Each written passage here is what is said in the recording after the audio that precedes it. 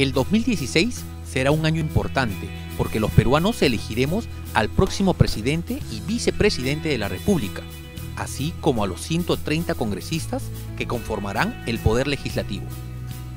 Por ello, es urgente que el Congreso apruebe en la legislatura que se inicia en marzo próximo el proyecto de reforma electoral planteado por el sistema electoral para fortalecer la consolidación de los partidos y la gobernabilidad del país.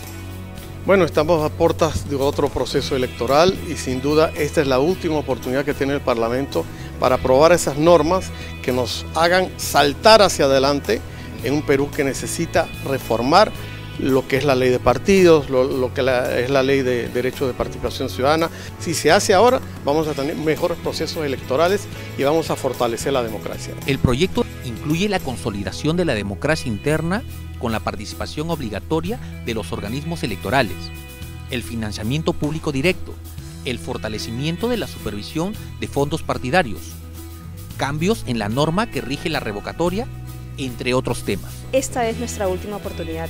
Lo que tenemos que buscar es conciencia en todos los ciudadanos y que nos apoyen a reformar electoralmente todo aquello que es necesario para fortalecer los partidos políticos, para tener mejores leyes, para que nuestro desarrollo como eh, país continúe en una democracia creciente.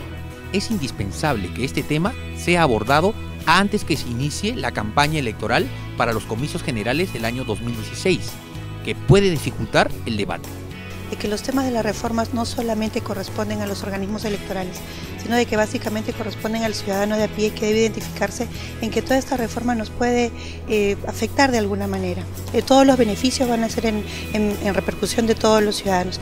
Así es que únanse a la reforma, únanse a esta campaña y sobre todo infórmense de cuáles son las características de estos proyectos de ley.